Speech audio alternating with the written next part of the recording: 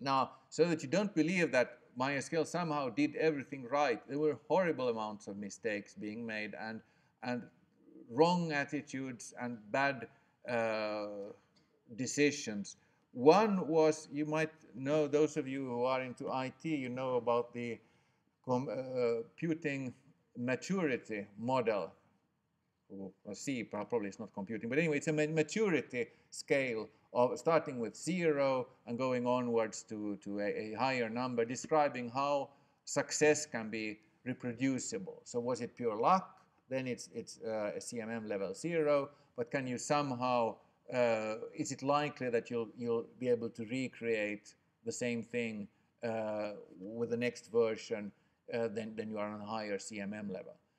Well, heroics, just being very smart and coding long nights and, and, and saving stuff uh, in heroic efforts played a large role at MySQL. So the systematic way of programming was not very prevalent. And that was the tradition of MySQL, and it was very hard to change for people coming on to the company afterwards.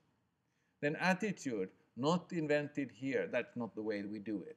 And that's sometimes a good thing to do in order to keep focus, but when other people come with good ideas, uh, lots of energy was spent defending the status quo even when it would have made sense to apply new things. So product management, which is something uh, that any good product these days starts, starts with, was equal to engineering. Remembering this scratching your own itch, the, the, the product management of what the product, what kind of features the product shall, shall contain, was managed as part of uh, the engineering efforts. So there wasn't a particular, uh, it was a late coming thing ta being tacked onto the company to, to manage the product development.